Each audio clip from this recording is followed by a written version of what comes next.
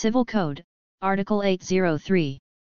A married woman may dispose by will of all her separate property as well as her share of the conjugal partnership or absolute community property. This is legal Philippines.